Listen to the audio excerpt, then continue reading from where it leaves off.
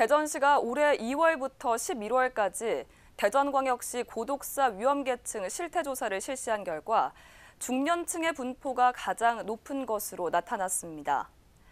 시에 거주하는 18세 이상 1인 일반 가구 1000명을 대상으로 조사한 결과 고위험군 5.3%, 중위험군 26.1%, 일반 가구 68.6%로 나타났습니다.